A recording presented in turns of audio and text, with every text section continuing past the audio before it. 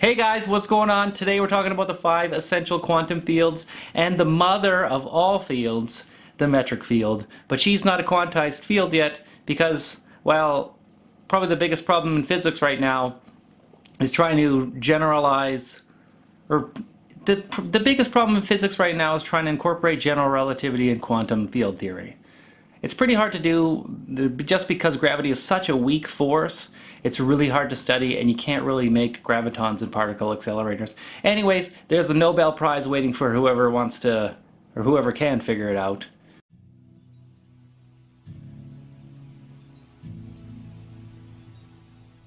The first and most familiar field that we all are familiar with is the electromagnetic field. And that's because it's responsible for light but it's a composite field made up of two other fields, which are basically the electric field and the magnetic field. So they are what make photons or light. And it's like you can't see this field, uh, even though you can't see this field, even though that it's responsible for providing vision. Yet you like, you know, you, you can't touch it. You wave your hand through it, it's like there's nothing there. So it's kind of like you know, remember Chaos? She's the primordial mother in ancient Greek mythology, and she gave birth to heirs, which are basically nothings that are something, which is kind of like a field. It's like a nothing, but it's a something. And fields are physically real, and if you want to know if you want to know the electromagnetic field in a more intimate way, just go get yourself a sunburn. And then you realize that, okay, there's energy coming to me from the sun, and it's it's being propagated through an electromagnetic field. So the field is obviously real and it has energy in it.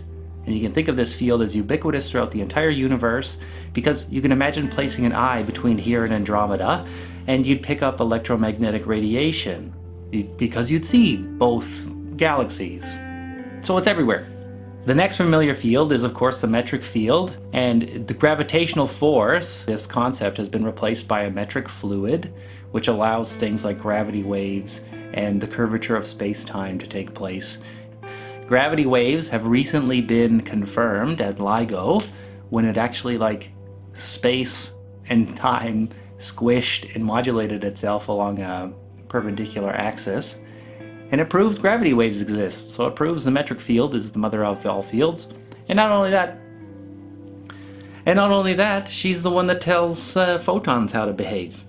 Actually, you could say it this way. Frank Wilczek writes it in his book, A Beautiful Question. Energy momentum tells the metric fluid how to flow, and the metric fluid tells energy momentum how to behave. Or you could say it different. Energy momentum tells space-time how to curve, and space-time, curvature, tells energy momentum how to move. So it's a, like a yin-yang relationship. The mother of all fields, she's not quantized yet, as I said, and a Nobel awaits the person who quantizes this field. Okay, then we have the strong nuclear force field that is mediated by eight color gluons, and they're like sticky little photons because they're massless and travel at the speed of light, and they confine quarks, or they dance about with quarks, and they confine them in the nucleons of atoms, and it's their dance that brings up mass.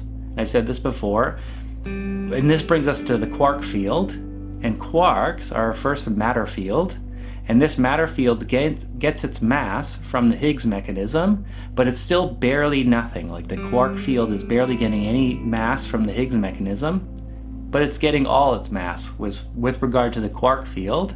But your mass, my mass, mm. real heavy mass, is a product of quark and gluon jiving dance.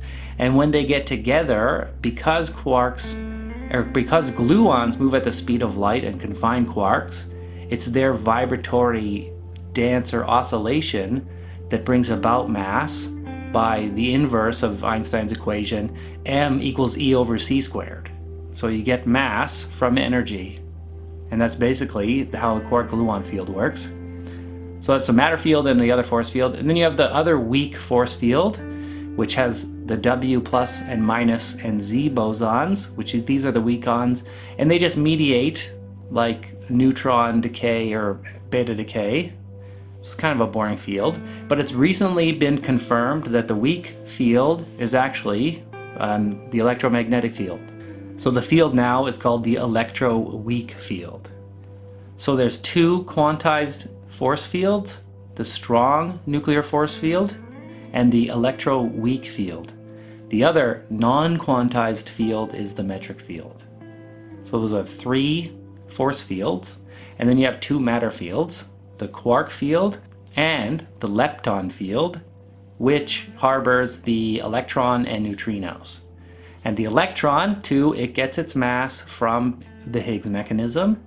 So the Higgs, of course, is the, the Higgs is the oddball field. It's a scalar field in that it doesn't have a direction. It's not going anywhere. It's just literally like a cosmic ocean and it just sits there. That's why most people call it a molasses. Or they use molasses as an analogy for the Higgs field because it's just like a soup. It's just a cosmic soup sitting there doing nothing except providing an interaction that gives quarks and leptons their mass. So this lepton field gets its mass from the Higgs mechanism as well. And like I should point out, like the electrons that constitute your body, that make up your body, is about 21 grams on average, which is like nothing with regards to mass. So you get all of your mass from quark and gluon relationships, and that's described by, of course, quantum chromodynamics. But the essential nature of all these fields is that they're immaterial and irreducible, like you can't make up another field out of other things, unless string theory is true, but there's no proof of that. There's no experimental evidence of string theory, and a lot of mathematicians who are really smart people are making a lot of contributions to string, string theory. I don't know if it's gonna pay off, guys. I don't know. Um, so basically, the fundamental ground of reality is fields. That's the major point I want to make. And I believe that, well, if you get into supersymmetry and unification of forces and stuff, a lot of physicists are working towards a unification. Quantum field theory is just one such step along the journey towards unification and proving that we all do share as common a universal ground floor. Not only this, but relativity also implies a shared and necessary ground floor. The fundamental idea to take away from this is that the fundamental ground of reality is fields and even the hard objects, the solid objects that we look out and we, you know, stub our toes on and bump our heads on, these solid objects, their essential nature is also that of fields, immaterial fields. And this to me is a lot closer to consciousness than solid particles because consciousness is immaterial and irreducible and fields are not material and irreducible. So in a few, in the next video, well, not in the next one, but in in a few videos from now, I'm going to present to you guys my idea of what I think consciousness is by basing it on a field view. And it's like, why? Well, I don't think I, I think I gave it all away already. But anyways, I hope you guys enjoyed this video, and as always, thanks for watching. Even though neutrinos don't really have mass. Why the fuck don't neutrinos have mass? Why don't neutrinos have mass?